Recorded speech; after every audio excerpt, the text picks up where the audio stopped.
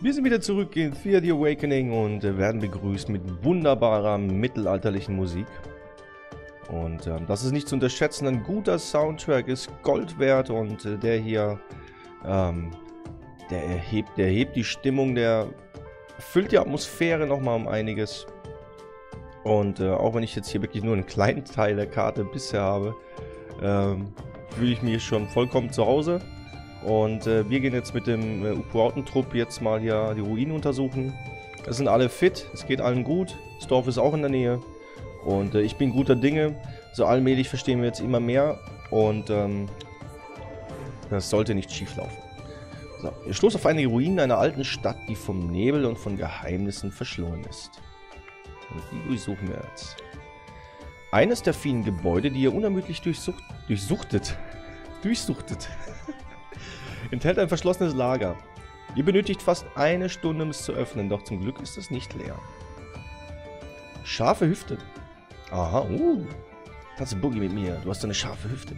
Diese raffinierte Klinge soll aus der Hüfte einer Baba Yaga gefertigt worden sein. Igitt. Baba Yaga, Hexe, ne, und so. Böse, kommt aus den Wäldern, klaut Kindern, Leute, nimmt sie mit in die Wälder und äh, ja, hat eine böse Hüfte.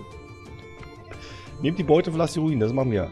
Yes, das war ja nichts. Das war das erste Mal, dass wir einfach direkt looten konnten. Ja, dann hungrige Untote. Nachdem ich jetzt gespeichert habe, bock, bock, bock, kümmern wir uns um die hungrigen Untoten. Ihr nähert euch dem Feind und habt Zeit, einen Angriffsplan auszuarbeiten. So, jetzt sind wir wieder in einer ähnlichen Situation wie zuvor. Wir können taktisch vorgehen oder wir können eben kämpfen. Also direkt kämpfen. Der Vorteil des äh, taktischen Vorgehens ist natürlich, dass wir nicht Gefahr laufen, dass sie sterben und dergleichen. Und deswegen mache ich das diesmal auch. Beim letzten Mal habe ich mich bei so einer Art von Entscheidung, bin ich in den normalen physischen Kampf gegangen. Ging auch gut aus, aber äh, das hatte ich auch gemacht, weil ich mir noch so noch nicht wirklich sicher darüber war, wie läuft das jetzt ab mit den Fertigkeiten und diesen, diese anderen Herausforderungsarten. Und äh, da fühle ich mich jetzt aber schlauer. Allerdings, äh, schadenstechnisch ist es immer noch so, dass die Truppe nicht unbedingt äh, mit den taktischen Fertigkeiten viel äh, äh, machen kann. Also, das heißt, ich gehe schon davon aus, das kann schon sehr gut sein, dass wir trotzdem verlieren, aber danach können wir dann einfach in den physischen Kampf gehen, sofern sich die Untoten nicht verkrümeln, wovon ich nicht ausgehe. So. Ihr beabsichtigt, die Untoten mit dem Geruch von Blut und Schweiß von ihrer Gruppe wegzuködern und sie anschließend zu töten. So. Ihr habt eine Herausforderung gewonnen mit zweimal Taktik. Da bin ich mir noch unsicher darüber, was das genau bedeutet. Das heißt, dass ich nur zwei habe, die diese Taktik in irgendeiner Art und Weise so ausführen können. Ich glaube aber, es ist mehr, weil das ist, glaube ich, Wille und genau und äh, äh, Intelligenz. So, Kampf beginnt. Ja, das sieht, sieht schon weit besser aus. Die können schon weit mehr jetzt. Das ist auch durch die Erfahrungspunkte und durch die Aufstiege, die sie bekommen haben. Hier, 2, 5, 2, 2, 5, 2, 3. Das sieht gut aus. So, verbündeten Schützen. Boah, Leute, 11. Bauzi, Bauzi. Und auch hier sieht das gut aus. Ich lasse die jetzt mal so. Ich hatte in den Anfängen einen Fehler gemacht, nur die Schadenswerte zu gucken. Den machen wir nicht mehr. Die taktischen Karten sind genauso wichtig. Wenn nicht sogar wichtiger. Let's rock and roll. So, wen packen wir zuerst raus? Chesol. Sieht gut aus. Also sieht nicht gut aus, weil Attraktivität ist bei ihm gering.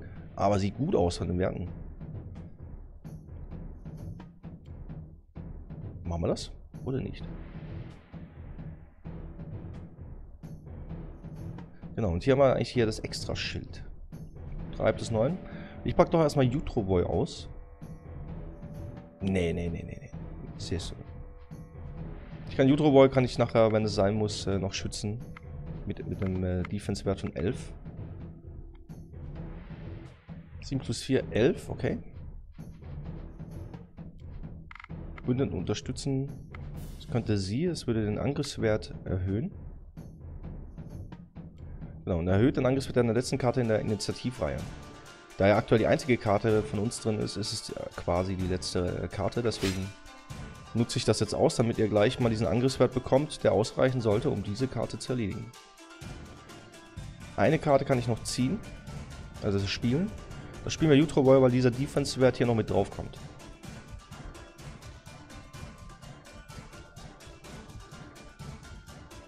Das ist schön, wie es sich jetzt spielt, wenn man mehr durchsteigt. Das ist natürlich immer ein bisschen frustrierend, wenn man ein komplexes Spiel spielt und dann nicht 100% versteht, was gerade passiert. Äh, dann ähm, ja, macht es natürlich nur halb so viel Spaß, wenn überhaupt. So, 14. Angriffswert von 2 ist gar nichts. Das haben die aber auch. Aber ich kann die, ich kann die alle, alle ausspielen. Das mache ich jetzt auch. Muss noch gucken, ob ich mir irgendjemand mit dem, mit dem Verteidigungswert Sorgen machen muss. Und Cebovit war jetzt doof. Den hätte ich jetzt eher... Aber nee, das passt schon. Passt, passt, passt. So, Mischievore. Und wir könnten auch noch alle Karten ausspielen, das machen wir auch.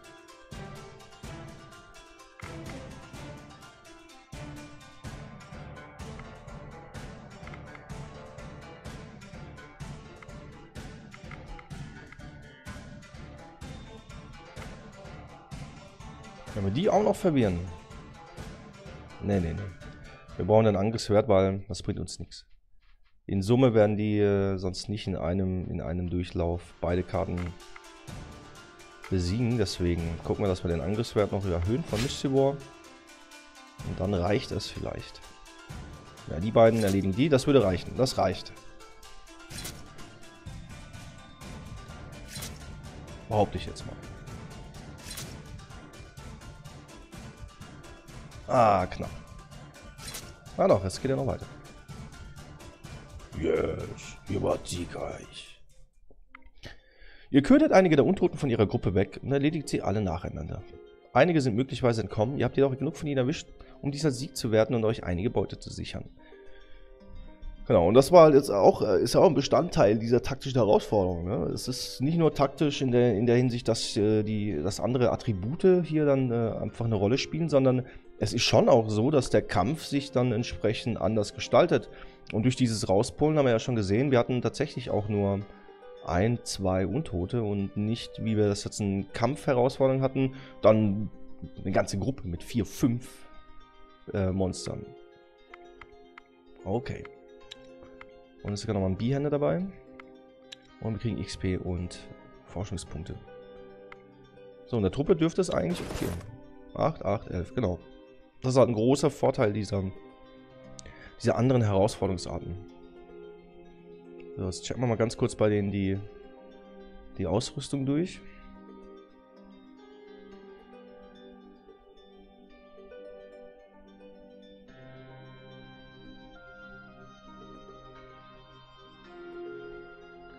Ein YouTuber hat jetzt hier schon auch äh, 23 Rüstung. Er braucht kein Schild, dann gebe ich ihm nämlich den Bihänder, sofern der wirklich mehr Schaden macht. Der Schwert hat halt auch schön Giftschaden drauf, wobei das kann jemand anders bekommen.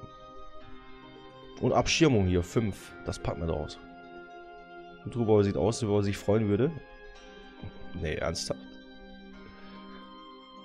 Es ist ein Bihänder, aber er kann es in einer Hand tragen. Steht das hier irgendwo, dass er das kann?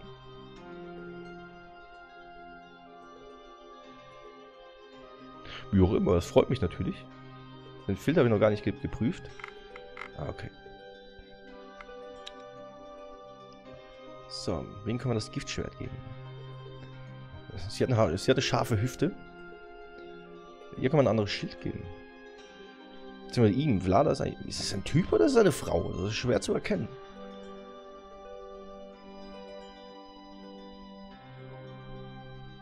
Oh, Zebubit hat nur eine Keule.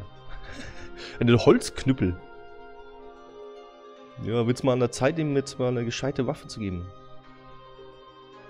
Ja, hallo. So. Ich habe ihn lange genug stiefmütterlich behandelt. Und hier. Rüstung, Abschirmung und Geschicklichkeit. Ist die Frage, was bringt uns Geschicklichkeit? Aber ich guck mal, ob jetzt jemand anders hier vielleicht einen Geschicklichkeitswert hat. Hier, YouTube wollen. Geschicklichkeit bestimmt nicht nur, wie behende du bist, sondern steigert auch deine Tarnung. Geschicklichkeit und Tarnung werden bei einer Vielzahl von Herausforderungen verwendet. Jagen, Schleichen und sogar Kampf. Ja, dann erhöhen wir seine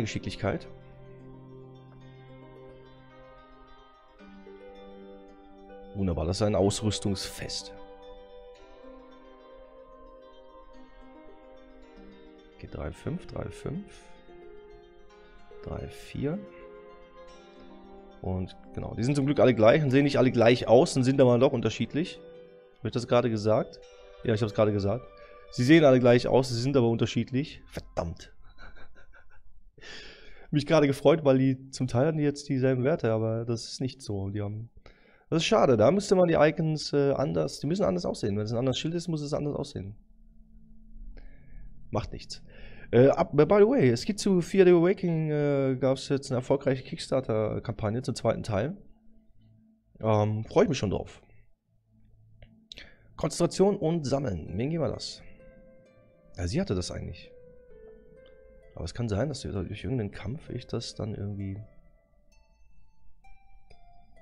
Ja, Game Over war ich noch nicht. Aber gut. So, Kurz mal alle durchchecken. Kann man ihm nicht noch trotzdem zusätzlich... Ich will gucken, ob sich was am Schaden ändert. Also aktuell hat er 19 Schaden. Ich will sehen, ob der Schaden jetzt sinkt, weil er dann irgendwie das Ding nur noch einhändig führt. Ne, er kann, also okay, er kann, er kann das nicht. Utroboy kann das wahrscheinlich, weil er so eine Maschine ist.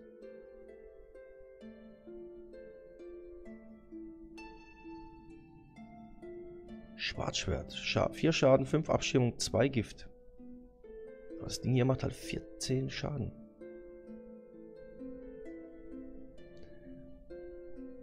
Aber da steht schon der Tarnung und alles. Ich weiß nicht, ob das, das Schwarzschwert mit, mit Schaden und Gift, mit dem Gift dort, da nicht doch klüger wäre. Und das mache ich jetzt. Und ich gebe irgendjemand anders, gebe ich hier diesen Bihändler. Irgendjemand, der schon eine gute Rüstung hat. Ihm haben wir das große Übungsschwert. Hm.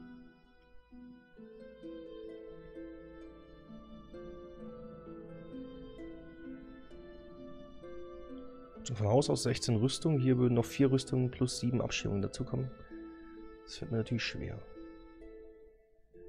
Hammer ist halt echt gut.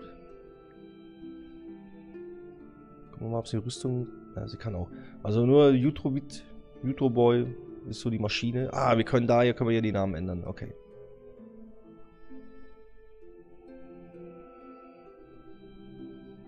Weil ich mich jetzt auch schon wieder so sehr an die Namen gewöhnt habe.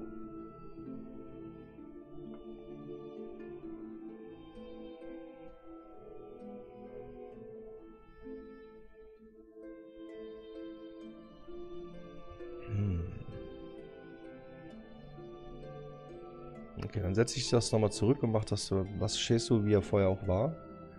Und wir bekommen ja noch, also wir haben ja noch Kinder im Inventar. Also im, als Ressource im Dorf. Da die ja dann heranwachsen, gelten sie als solche. Ähm, aktuell sind sie aber noch nicht andersweitig verfügbar.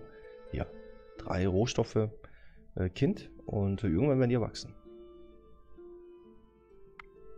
Ich wundere immer noch Vorräte, dass hier Anzahl von Charakteren, Bewegungspunkten, wie lange die Nahrungs- und Brennmaterialvorräte halten. Das schließt mir immer noch nicht so ganz. Ich mach's mal raus. Guck, ob es jetzt was ändert. Eine Anzahl der Charaktere? Nee. Hängt aber vielleicht auch von, von der Beend vom Beenden der Runde ab. Vorräte haben wir eigentlich genug. 36. Für 36 Runden Nahrungsvorräte. Genug Brennmaterial. Aber wir werden noch mehr Holz brauchen einfach.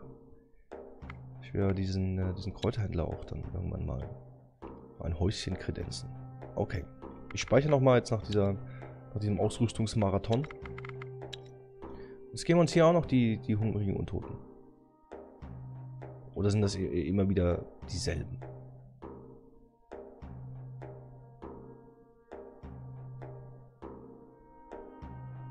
Hm, egal, wir machen es nochmal. Nein, kann man nicht. Rasten brauchen wir nicht. Dann beenden wir die Runde. Vielleicht passiert ja was. Ja, da ist einiges passiert. So, Produktion von Dörrfleisch ist gestoppt, klar. Ist jetzt durch. Schmiede ist fertig. Ah. Ja, ja, hallo. Ja, da muss man denken. Das ist ein bisschen ich gerade sagen, ist ein bisschen doof, dass man nicht sieht, dass hier gerade was arbeiten, aber das sieht man. Wenn ich sie reinmache, erscheint oben die Säge. Gut zu wissen.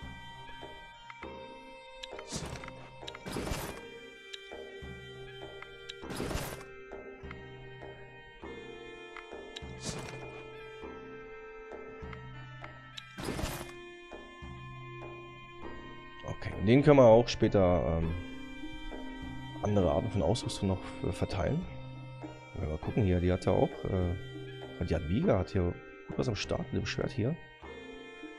Sechs Schaden, Abschirmung, hochwertig und Gift. 9, 5, 9, 5. Was ist das? Holzring. Okay. So, die Runde ist durch. Hier oben ist die Mine, die uns äh, ein Zwerg, der das Dorf besucht hat, ähm, markiert hat. Und ja, ich gucke jetzt mal, ich werde jetzt nochmal die Untoten bekämpfen und äh, werde dann ins Dorf zurückgehen, ihnen Dörrschlei äh, Dörrfleisch besorgen und dann geht's weiter.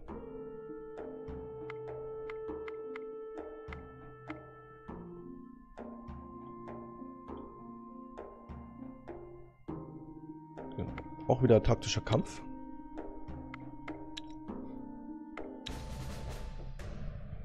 Zwei, fünf, fünf, sechs, zwei. Sieht sehr gut aus und taktisch haben sie auch gut aus. Okay, wir starten. Wir haben alle bis auf Lada eine dicke, fette Verteidigungswerte. Deswegen packen wir Jutroboy raus.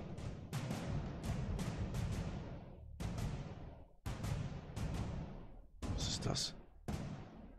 Effekt Aussaugen. Der Angreifer erhält Gesundheit in Höhe der Aussaugungsstufe. Klasse.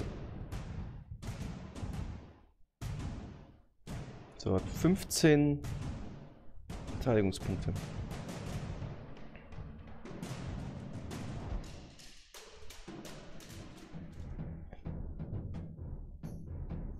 Eine Karte kann ich noch spielen.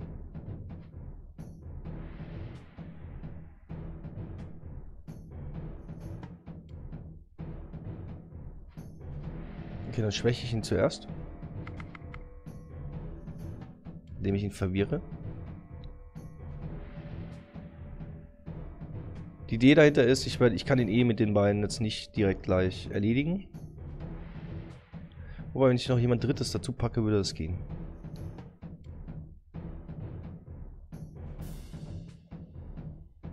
Dann würde er in der zweiten Kampfrunde, würde er dann aber angegriffen werden von Jutroboy dann wäre er an sich erledigt. 8, 13, ne, wäre er nicht. Okay, ist besser doch äh, Leos Lava reinzupacken. Jetzt dürfte er die Runde in keinem Fall überstehen. Dann geht es jetzt erstmal nur um die erste Karte, da sie das Aussaugen hat, ist das relativ gefährlich. So, jetzt verwirren. Wenn er gar nicht erst dazu kommt, äh, irgendwas zu machen. Ohne Angriff kein Selfie.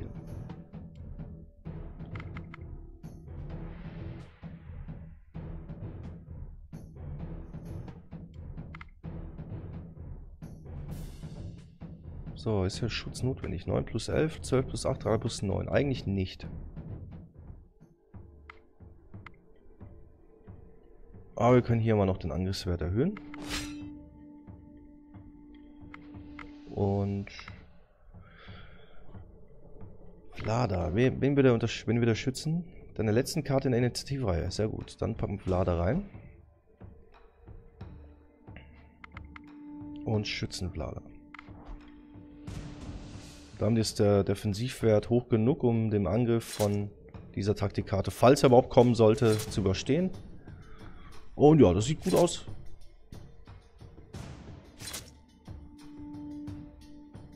Wir beobachten das Spektakel.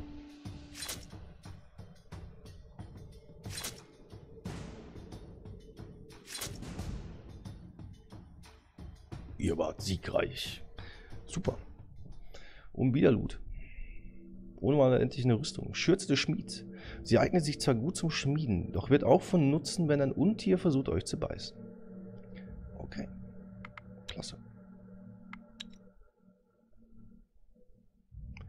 Ja, so kann man auch äh, Beute machen. Wunderbar. Also da ist jetzt einiges passiert. Hier haben sich auch wieder äh, Fähigkeiten verbessert. Das Team wird stärker.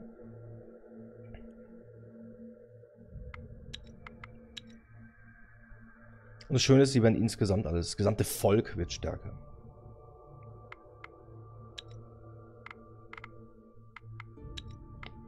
Klasse, also noch drei Runden. Wunderbar. Ja, also es läuft so allmählich.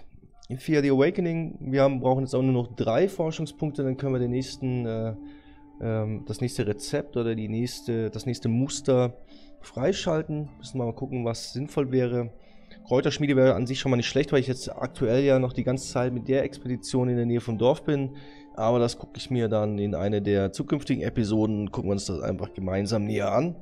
Und ja, ich sage jetzt erstmal Bille Baba.